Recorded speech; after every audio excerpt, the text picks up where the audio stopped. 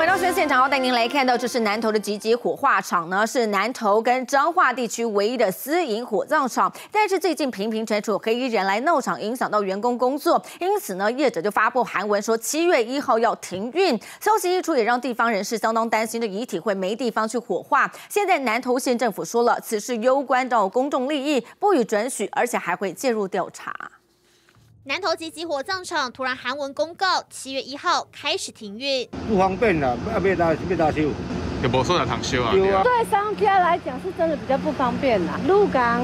和美、县西，他们都是来我们这边比较多。这间火葬场是南投跟彰化唯一一间私人火化场，突然要停运，原来跟黑衣人闹事有关。业者在布告栏贴出声明书，如果有人在外主张是火葬场的股东权利人，那就是公然诈骗，要民众别上当。